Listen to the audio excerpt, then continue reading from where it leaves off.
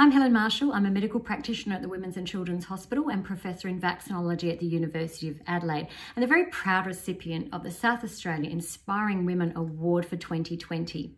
And what a challenging start to the year we've had, but I do believe we're going to emerge in a much stronger position here in South Australia.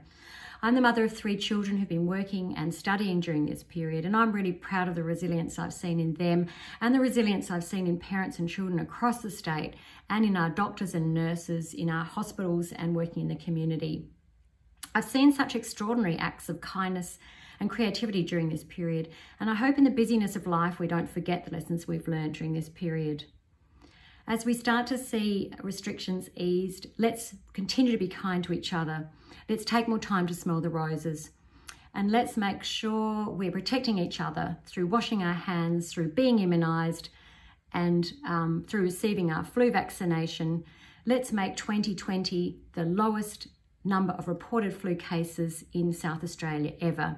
And do download the COVID Safe app if we do see a second wave, let's go, e go in even better prepared to eliminate infection even faster.